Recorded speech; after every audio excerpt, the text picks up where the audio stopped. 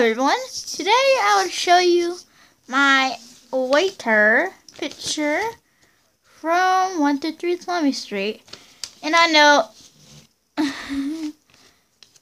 this is not going to be for free just yet though. Um,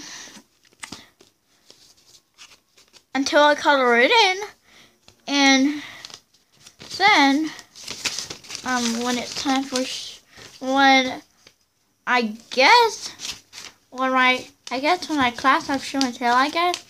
I don't know if my school ever does that. Um, I'll just, you know, bring in a lot of my pictures, actually. Oh, the ones I have on my wall. And the latest from the Slaughter Me Street 1. Part 1, actually. And don't mind the makeup over there. I just don't use it sometimes. Um, then I have this one, which is the Screamer. I guess this is what it looks like, I guess. I don't know what gender it is, but I don't know what the screamer even looks like though. I don't even know what gender it is or what type it is. I don't know what type of animal is it it is, but I think it's a cat and it's a girl. I don't know. I think the screamer is a cat and a girl. I don't know.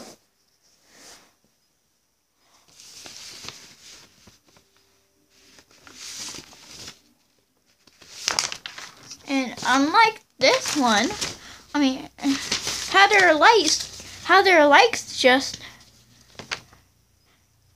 uh, the eyes are here combined with layer is the same, but one eye is different. But, but they're both different types of animals, and they're different genders. I don't know why my camera's grayscale, scale, but this is the second time I ever used this um grayscale. And this is this will be free as soon as I color it in. Some of them, one picture that I have not finished and it's still black and white. So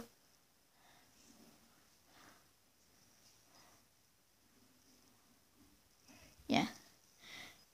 I was heard three minutes and 22 seconds. Okay. Um, I, I want to end this here. And have a great day. A big shout out to Goldfisher, one of my classmates. His name is Jaden. And big shout out to him. Um, like, comment, subscribe for more videos like this. And have a cool